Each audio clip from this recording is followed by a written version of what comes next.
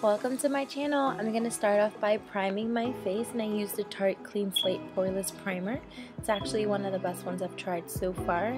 I do love the finish. It does have a light citrusy smell, um, but most importantly it has vitamin E so it definitely corrects the face which is super bomb. So I'm going to go ahead and just rub that all over.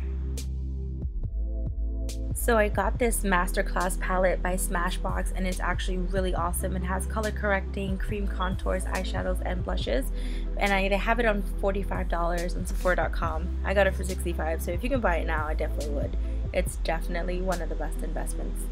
And I just use that to cancel out any dark circles I have underneath. And now I'm going to be going in with my favorite drugstore foundations, the L'Oreal Infallible. I used both the matte and the glow because I definitely think it just adds so much beautiful coverage and a nice finish.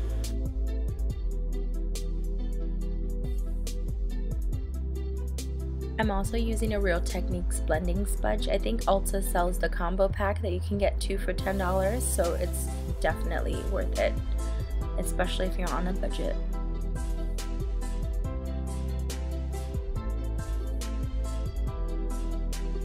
Now I'm going in with my favorite concealer, the NARS Creamy Concealer. The color is Caramel, and I'm going ahead and just putting that underneath that I want some coverage. I also decided to drag it along the sides of my nose to create a natural contour because sometimes I just don't like the over contoured and powdered nose. So I just do it naturally by bringing concealer to the sides of my nose.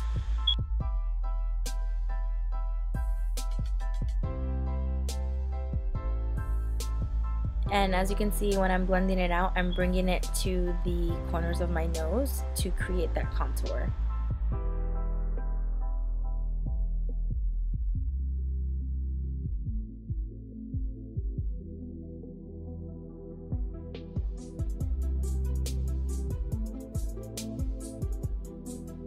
So I was definitely being a little extra in this tutorial. So I went in with my Tarte Maracuja Creaseless Concealer and I just added that on top of the NARS just to create some extra coverage. And go ahead and just brighten up that section right there.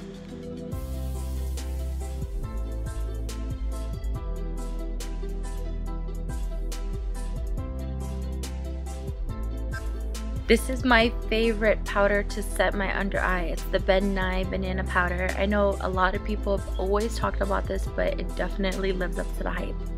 And it's such a great, great product. It just blends so flawlessly. So I'm using that same beauty blender.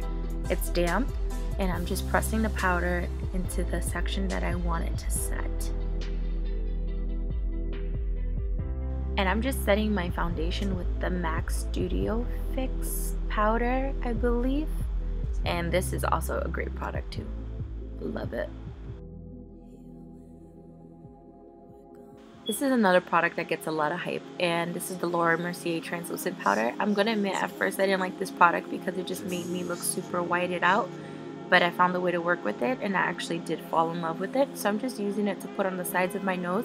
It's only going to intensify that natural contour that I want just creating the line with the powder.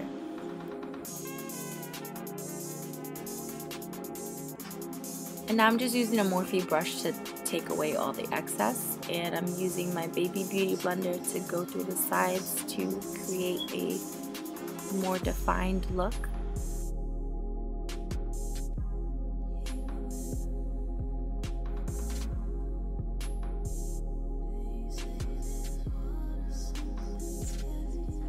I'm just using my big Sigma fluffy brush and I'm just going to wipe off all the excess.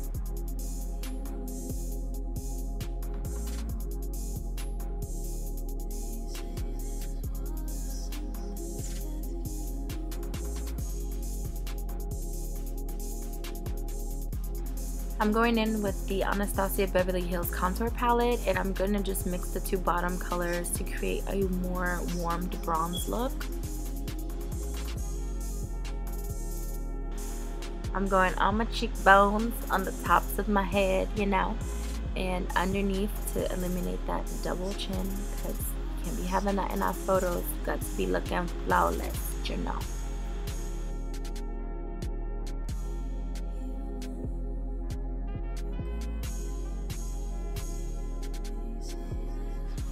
And I'm using that warm brown color in that palette to create a light contour with the sides of my nose. And I'm using a Morphe Fluffy brush. I'm definitely going to blend it out because I do not like streaks.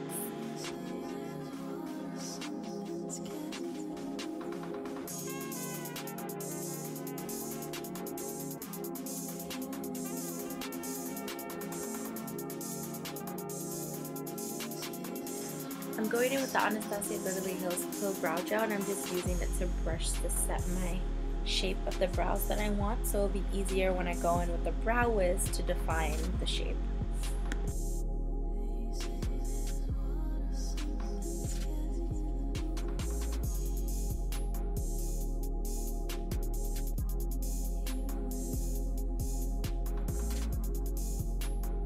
And remember guys, don't stress over your eyebrows. They're supposed to be cousins. They're not identical sisters. Just make sure they look symmetrical. They don't have to be 100% perfect.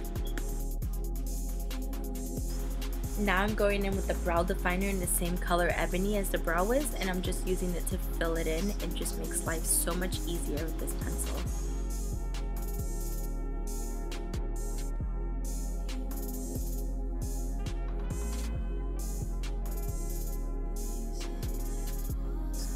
Because I want my eyes to really stand out, I'm using the Urban Decay Primer Potion to prime my eyes. And this is definitely going to act as an awesome adhesive for the glitter shadows that I'm going to be using.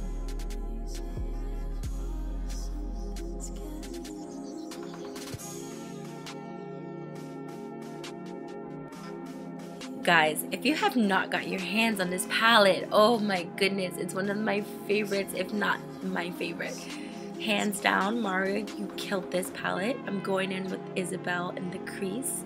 It's so gorgeous. I should have swatched this for you, but I just, oh, I got so inspired with creating a look with this palette.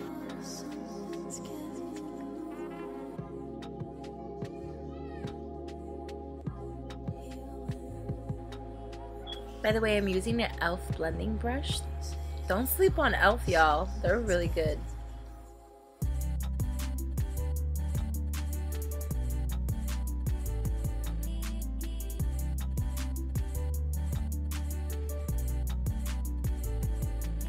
Now I'm taking a Morphe brush in the color Violeta or Violetta, whichever you prefer.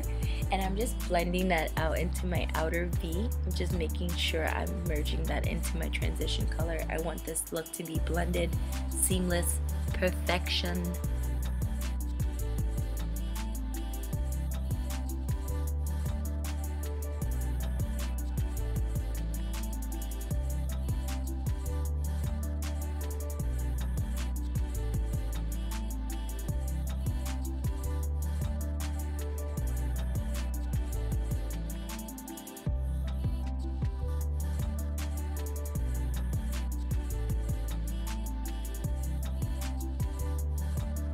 And now I'm just going back in with that same e.l.f. brush and I'm just using that to blend out the look even more.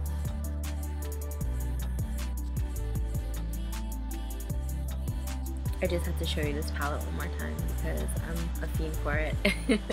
I'm going to go in with the color Marina and I'm just going to use my finger to just tap that onto the lid because I'm going to be packing on more of that color a little bit later but I just want it to secure make a nice little transition, you know, build it up.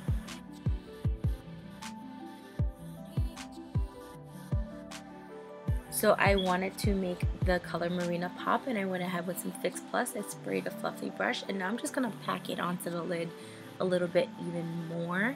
I definitely wanted it to be a showstopper and that's such a beautiful color. So I just feel like the Fix Plus would just make it a little bit more intense, you know.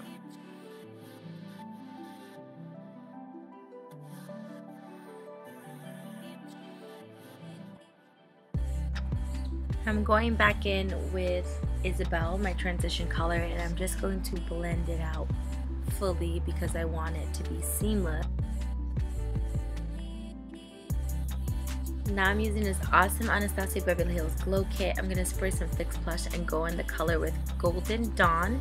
And I'm going to put that in the inner corners of my eyes just to make it pop a little bit more as if that marina color wasn't popping enough, you know, has to be a little bit extra.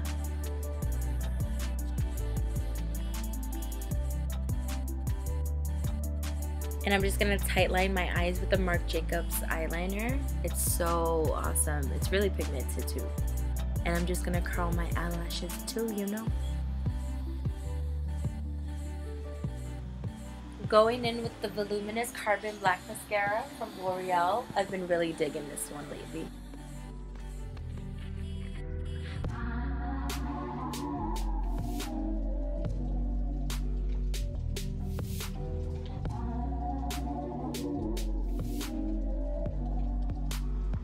Now it's time for the scariest part because every girl knows if you mess up your liquid liner, your whole look is just completely ruined. So I went ahead and used the NYC liquid liner, started flicking out the outer corner to create that baby wing.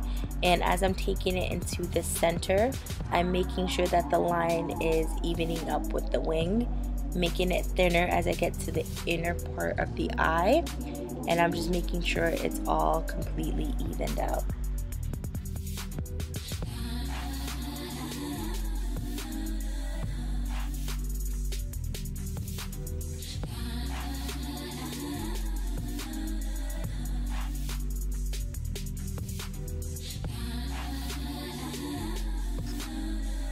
Yes, celebrate the small wins.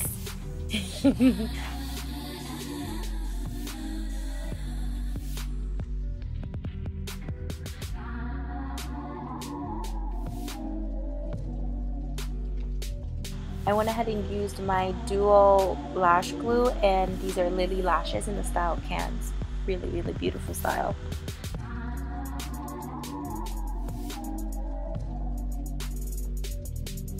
Now I'm going in with Flormar blush and I'm going to use my MAC brush to apply that to the apples of my cheeks. I wanted some light color.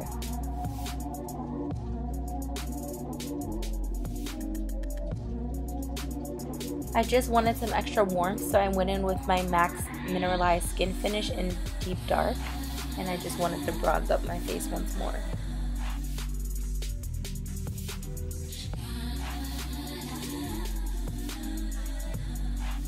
Don't know how this happened, but my Becca highlighter broke and it's the color rose gold. So I'm just going in and lightly highlighting my face with one of my favorite Morphe brushes. And I love light highlighter. I don't like the overglazed look. No offense to people who do, but I just want some light shimmer shimmer, you know.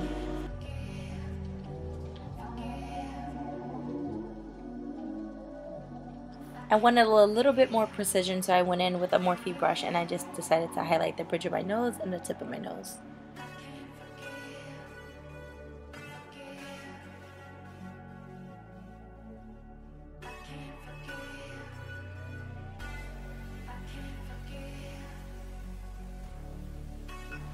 my highlighter wasn't really showing up on camera so I went in with Amber Gold from the Anastasia Glow Kit and I just wanted to double over that Becca highlighter. Not too much, but just the right amount.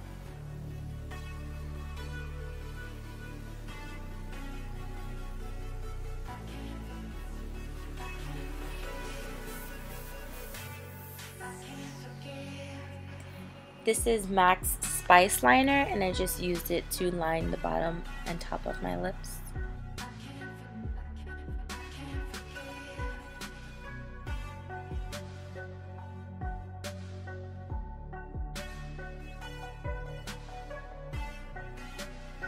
Going in with a fan favorite, this is Kat Von D Lolita Liquid Lipstick.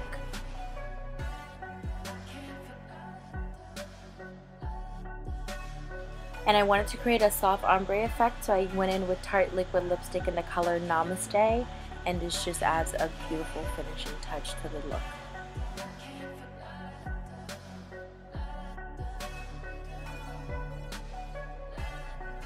I'm just fixing the colors a little bit more, going back with Lolita to add more depth. I'm just cleaning up any little mistakes that I have with a precision brush and a little bit of foundation.